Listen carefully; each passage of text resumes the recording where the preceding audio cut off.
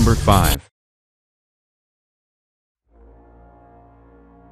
India's quest to develop its own fighter jet engine got a boost after a $2 million consultancy agreement was finalized with leading French defense manufacturer Safran to help revive the Kaveri project. The GTRE GTX 35VS Kaveri is an afterburning turbofan project developed by the Gas Turbine Research Establishment, GTRE, a lab under the DRDO in Bangalore, India. Number 4.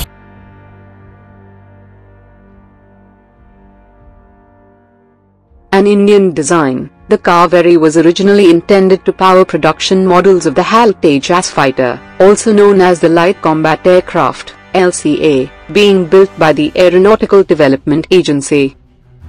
The Kaveri program failed to satisfy the necessary technical requirements or keep up with its envisaged timelines, and was officially delinked from the LCA program in September 2008. The main issue was that it was unable to provide the required power thrust. Low thrust impact speed and maneuverability of the aircrafts adversely. The project was stalled in 2014.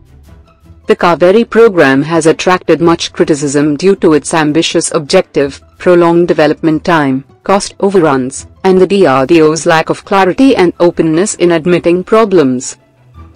The HAL LCA are currently powered by American GE404 engines.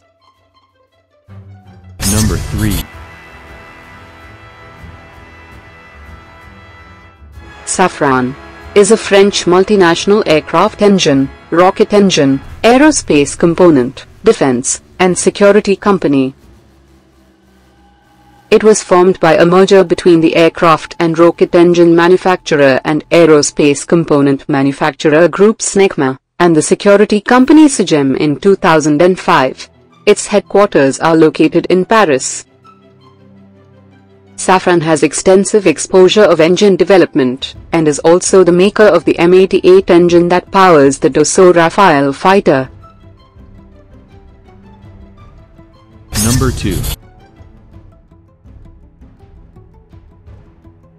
On the 20th of November 2016, DRDO Director General for Aeronautics Cluster, CP Ramanarayanan confirmed that DRDO and the French company have tied up for the Kaveri project.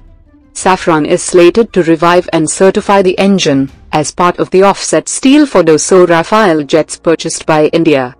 A detailed joint development plan will be drawn up that could use offset credits. The obligation is 50% of contract cost, which translates to over 3 billion euros, coming from the Rafale fighter jet deal.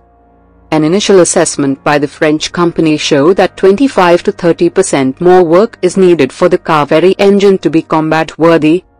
French side has proposed to make the engine flight-worthy within 18 months for integration into the LCA by 2020. Number 1. LCA has been inducted into the Indian Air Force. This is the first fighter jet India has developed.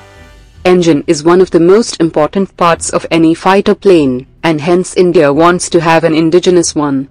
The solid expertise of Safran in engine design is expected to resolve the complicated issues of Kaveri engine.